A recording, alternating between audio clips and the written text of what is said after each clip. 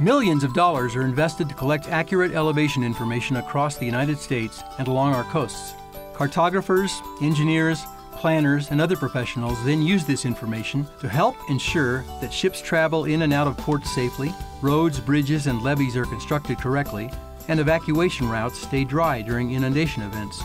To correctly use maps, charts, and geospatial tools, it's important that we understand where the elevation and height information comes from, how it fits together, and how it will be applied.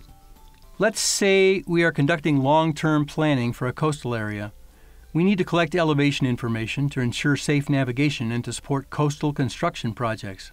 NOAA Airborne Topobathy LiDAR uses laser technology to provide accurate height information for land surfaces, as well as shallow water depths and objects such as houses and vegetation.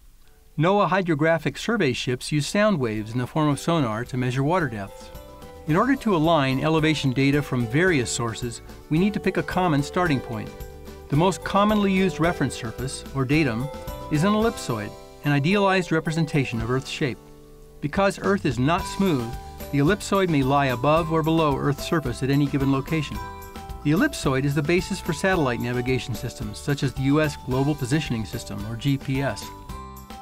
LIDAR and sonar data tells us that our pier is 35 meters below the ellipsoid and the seafloor is 50 meters below the ellipsoid. With this information, we might think we know enough to keep our ships from running aground.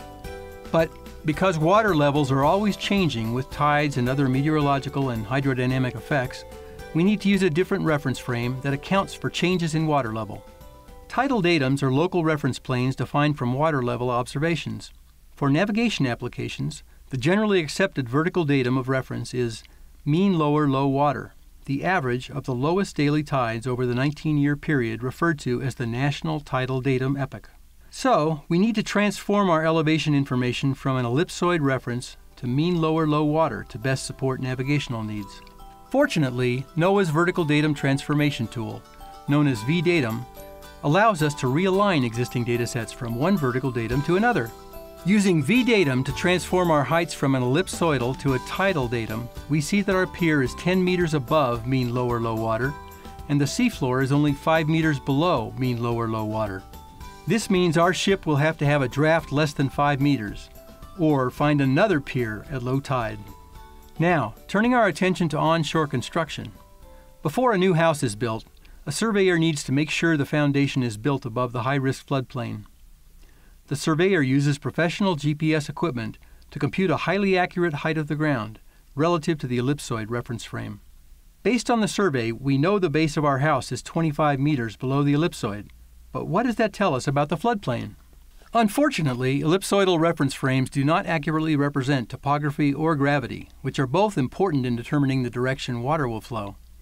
As a result, for applications like floodplain mapping, we need our data reference to an orthometric height system, such as the North American Vertical Datum of 1988, NAVD 88, which accounts for differences in gravity Again, NOAA's VDatum tool allows us to transform the ellipsoid height of the base of our house, which was negative 25 meters, to an orthometric height of 11 meters in NAVD 88. Our floodplain map, which is published in NAVD 88, has a base flood elevation of 8 meters, so we know this house is built above the high risk flood zone. VDatum can also transform our 11 meter NAVD 88 height to a height reference to local mean higher high water, or MHHW. MHHW is the average of the highest daily tides over the national tidal datum epoch. The mean higher high water datum is helpful for inundation modeling and storm surge forecasting. As these examples illustrate, it is important to understand which reference frame our elevation and height information is based on, so we can appropriately use different data sources together. NOAA's VDatum tool, which covers many parts of the United States, makes it easy to convert and align datasets for mapping, charting, and geospatial applications. So we can be sure critical and strategic decisions are based on accurate information.